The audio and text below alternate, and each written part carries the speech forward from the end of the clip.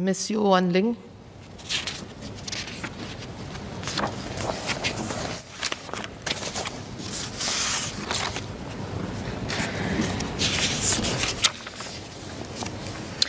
Madam Chair, the future we march towards is inevitably a low carbon future. That being said, we are aware of the limitations on the land use on our island home. Our narrow tidal range and calm seas limit our ability to utilize commercial tidal and wave power. We also do not have a river system with fast flowing water throughout the year to harness hydroelectric power. Our small physical size, high population density, and land scarcity limits our potential for sustainably grown domestic biomass and large behemoth wind farms.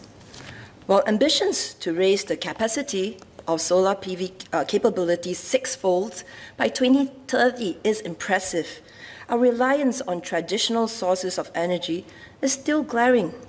As we speak, about 95% of our electricity is generated from natural gas sources. How then can we be assured that decarbonization will be a reality for Singapore?